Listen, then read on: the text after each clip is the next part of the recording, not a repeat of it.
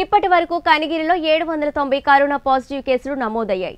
Active కేసులు రెండు వందల ముప్పై రెండు మరియు పన్నెండు మంది మరణించినట్లు ప్రకాశం కనిగిరి కోవిడ్ ఆఫీసర్ రాజ్యలక్ష్మి తెలియజేశారు. ఒంగోలులోని రిమ్స్ మరియు కందుకూరులోని కోవిడ్ సెంటర్లో నూట అరవై రెండు మంది ఐసోలేషన్లో చికిత్స పొందుతున్నారని మరొక అరవై తొమ్మిది మంది హోమ్ ఐసోలేషన్లో ఉన్నారని తెలియజేశారు. వీరిని ప్రతిరోజు వైద్య సిబ్బంది పర్యవేక్షిస్తున్నారని ఇంటింటికి తిరిగి సర్వే చేసి కరోనా లక్షణాలు ఉన్న వారికి పరీక్షలు చేసి కరోనా కేసు వివరాలను తెలియజేస్తున్నామన్నారు. ముఖ్యంగా ప్రతి ఒక్కరూ మాస్క్ ధరించి భౌతిక దూరాన్ని పాటించాలని చేతులను శుభ్రంగా కడుక్కోవాలని ప్రకాశం కోవిడ్ ఆఫీసర్ రాజ్యలక్ష్మి అన్నారు. కరోనా వల్ల చనిపోయిన పన్నెండు మంది ఎవరూ కూడా ఇళ్ళ వద్ద చనిపోలేదని అందరూ హాస్పిటల్లో చికిత్స పొందుతూ మరణించారని అన్నారు.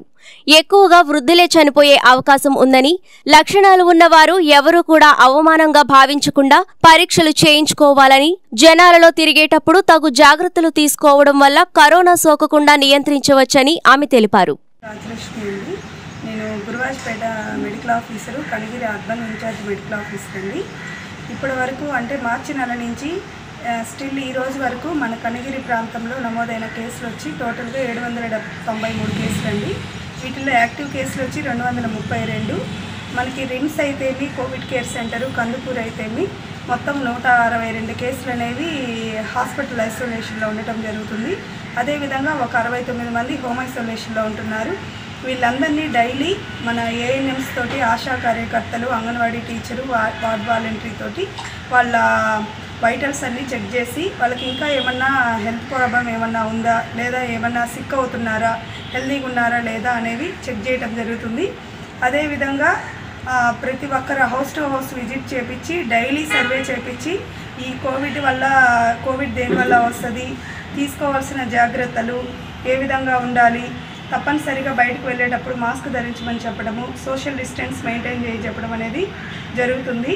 అదేవిధంగా కనిగిరిలో సరౌండింగ్ మొత్తం డెత్లు వచ్చి కనిగిరి ప్రాంతంలో పన్నెండు మంది అనేది కోవిడ్ వల్ల చనిపోవటం జరిగింది. వీళ్ళందరూ కూడా హాస్పిటల్లోనే చనిపోవడం జరిగింది. హోమ్ ఐసోలేషన్లో ఇంట్లో ఎవరూ చనిపోలేదు. కానీ మనకేంటంటే డెత్లు కూడా అరవై ఏళ్ళు పైబడిన వాళ్ళే ఈ కోవిడ్కి అనేది ఎఫెక్ట్ అయ్యి చనిపోవడం జరిగింది. మనకి ఇంకా కేసులు తగ్గుముఖం పట్టాలి అని అంటే జనాలలో అవేర్నెస్ అనేది రావాలి.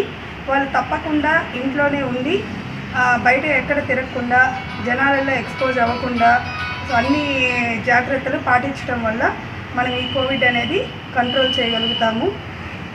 కాబట్టి వైద్యులు సలహాలు పాటిస్తూ అదేవిధంగా ఆరోగ్య సిబ్బంది చెప్పి ఇచ్చే సలహాలు సూచనలు పాటిస్తూ జనాలందరూ తగు జాగ్రత్తలు తీసుకోవాలని మా మెడికల్ అండ్ హెల్త్ తరపున కలెక్టర్ గారు ఇచ్చిన ఆదేశాల మేరకు మేము జనాలందరికీ విజ్ఞప్తి చేస్తున్నాము